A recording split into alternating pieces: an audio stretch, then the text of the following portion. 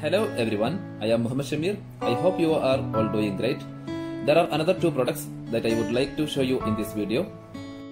Huawei P40 Pro and Huawei Watch GT 2e.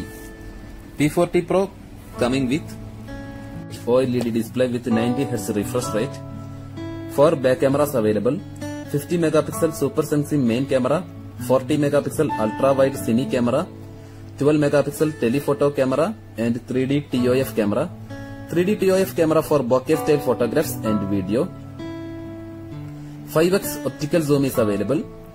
Front camera of the P40 Pro is 32 megapixel and 3D TOF camera. Battery of the P40 Pro is 4200 mAh battery. 40 watt fast charging and 27 watt fast wireless charging is supported.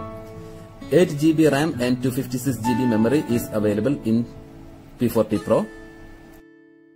And another one is Huawei Watch GT2e.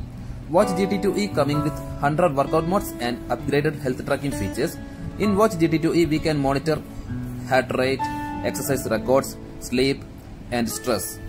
Watch GT2e coming with AMOLED display, 1.39 AMOLED display and 455 mAh battery.